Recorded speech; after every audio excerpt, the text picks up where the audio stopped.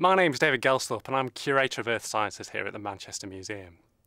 Climate change has happened throughout Earth's history and is still happening today, and fossils are one of the main pieces of evidence we can use to tell what climate was like in the past. This fossil we've got just here is, believe it or not, a hyena skull, and it's from a place called Creswell Crags near Nottingham. Hyenas today live in places like North Africa, so really quite hot countries. But this is actually about 20,000 years old. So we know from where hyenas live today that the climate in Britain about 20,000 years ago was much hotter, much more like Central Africa. And by using other fossils, we can tell about other times as well. This is slightly younger, probably around 12,000 years ago, and this is a antler from a red deer. And red deer in the wild today live in places like Scandinavia and Russia, so colder countries than we have today in Britain.